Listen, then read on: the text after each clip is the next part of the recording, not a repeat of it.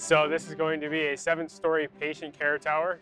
We have the sanitary piping, storm piping, medical gas piping, water piping all through the building. The one special thing about this building is that we have all seven medical gases that we will be running. That involves another certification, another crew of guys. That's not something that you know any plumber off the street can do. So right now we are finishing up our underground phase, coming close to it. Next one is going to be sleeve layout. We'll be working with the iron workers as they progress and keep going higher and higher. We'll be working below them once, once we're able to. On this site, we are using Bluebeam and I'm using Revizto. Bluebeam is where I'm pulling all my plans from, so now we don't have to have these large prints that are in sleeves and get destroyed. I have weather-protected iPads that are staying in cases.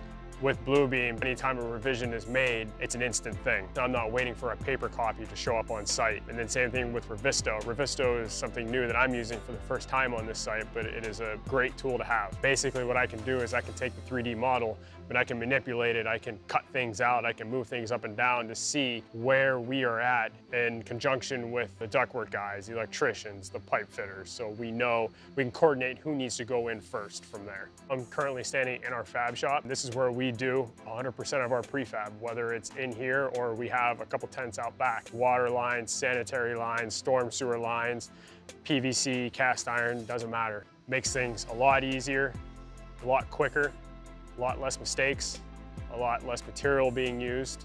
If we can prefab it, we're doing it. It's exciting to see a job this big and being able to be there from the beginning all the way to the end and seeing how these jobs are going to progress